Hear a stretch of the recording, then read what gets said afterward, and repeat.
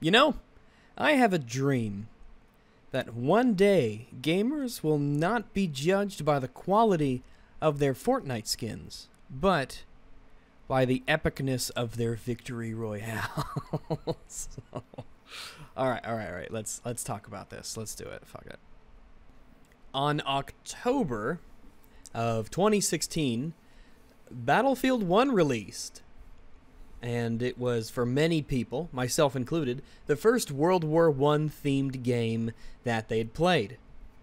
And as a result of that, there was developed in many people, myself included, a interest in that time period and in that conflict because the Great War is often overshadowed by World War II and other more modern uh, wars. But World War One, that period of the late 19 teens, was was fascinating in terms of the development of technology, weaponry, gadgetry, um, mechanics, tactics, all kinds of different things. It was a it was an extremely fascinating war.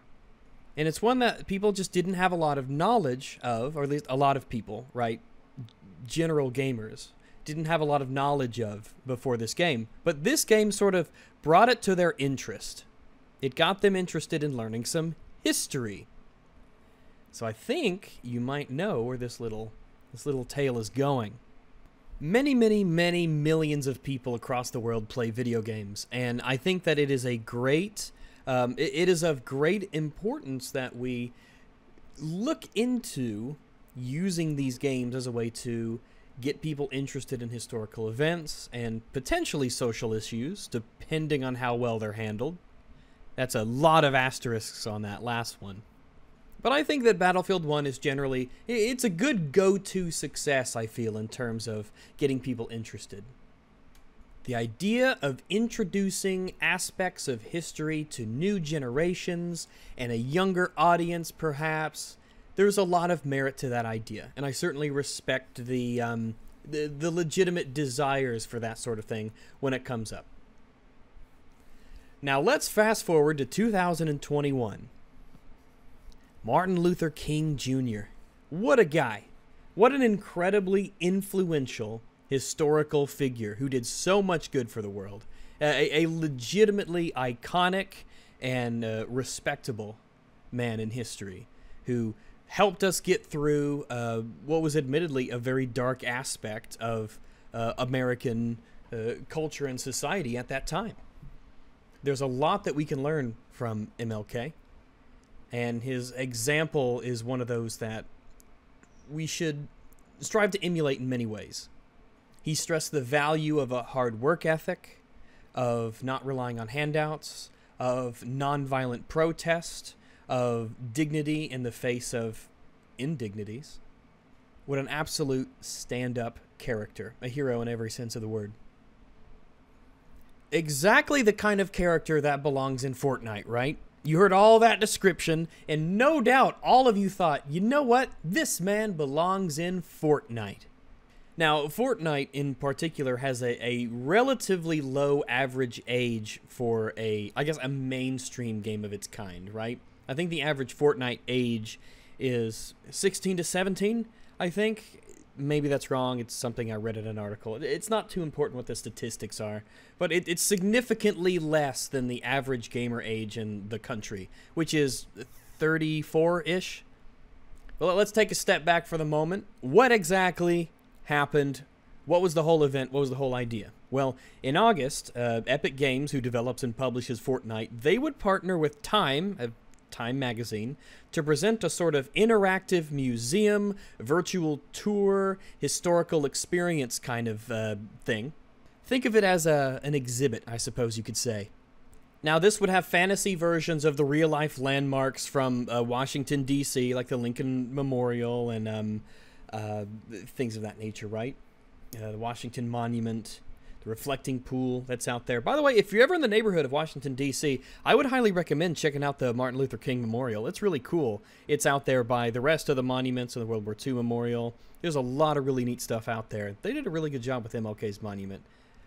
So, uh, while you're in this interactive exhibit inside of Fortnite, while the I Have a Dream speech plays on a massive monitor and you could hear it all over the map, right?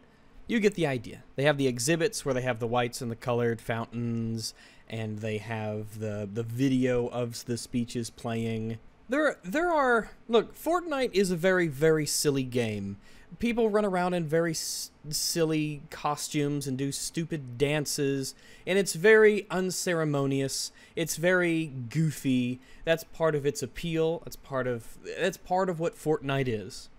And when you combine the fact that this is an internet thing, and people will meme about it, and they'll make fun of it, and they'll have a good time, and they won't give it this, the, the reverence that it probably deserves, I it, it does boggle the mind that this got through the the approval stage. Right? There's a time and there's a place to discuss uh, aspects of history, and I feel like one of the one of the worst to the point where it would be its own joke is one of the worst places to explore these things and to introduce them to budding young minds, which I will get to in a second. One of the worst ways to do this is to do it through Fortnite.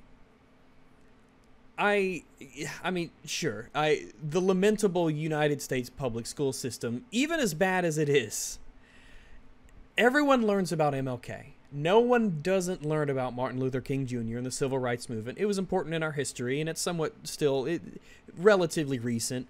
It's important people learn about it. This isn't stuff that people are gonna be shocked to discover, right? It's not like we're uncovering some unknown segment of history that people would have otherwise never known. So, I don't want to hear this nonsense about people would never know otherwise, because that's that, that's bullshit. All right, that's bullshit young kids who, if they exist, people who've never heard of Martin Luther King, right? And I'm, I'm not saying that's bad. That's good. Everyone needs to know who he is. He's a, a very important historical figure, right? And I'm just wondering how many people are going to have potentially their their knowledge and understanding of him tarnished and marred by the um, unceremonious goofery that happens in Fortnite. I just feel like there's a time and a place for this sort of thing. That's kind of why I started off with that Battlefield 1 analogy. It was there was a it's a way to get people interested in a topic.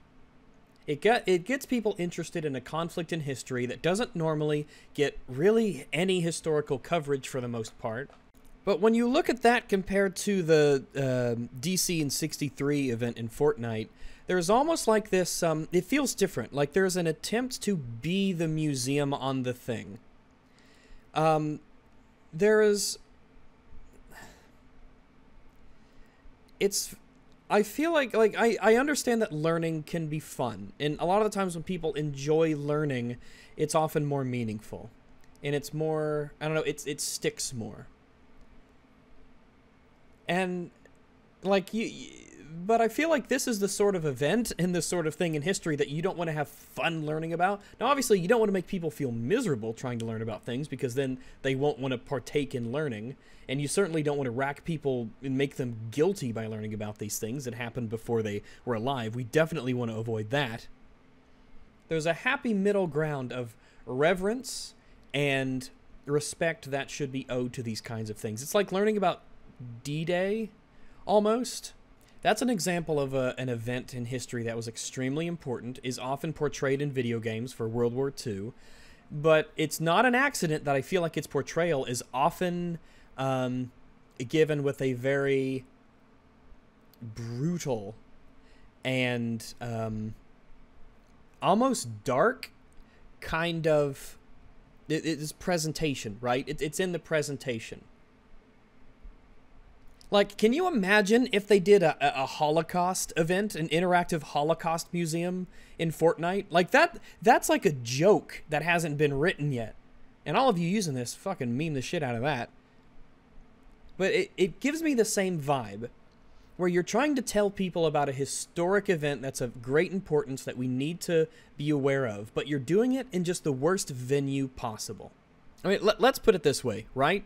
It will probably come as no shock to anyone here that, uh, Bernice, Bernice King, sorry, the name escaped me for a second, Martin Luther King Jr.'s daughter, uh, said that she did not approve of this uh, MLK event in Fortnite, nor did the Martin Luther King Jr. Center.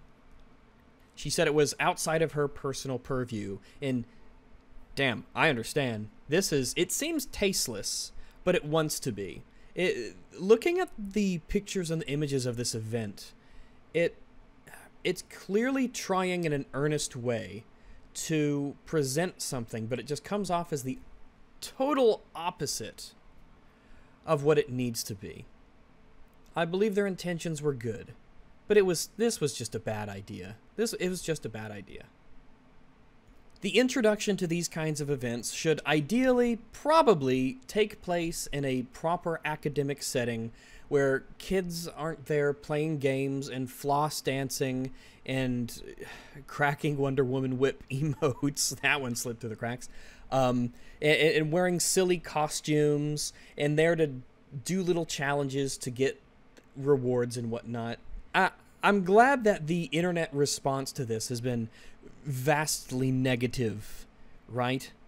There's a time and a place to teach history to people using games as a medium. This is not how to do it. Hopefully, this will be a, a lesson that has been learned by companies moving forward and they could find better ways to um, incorporate that into virtual experiences. When it comes to historical figures, there is a time and a place to joke and to meme. No event in history, no historical figure, um, no concept is beyond being made fun of.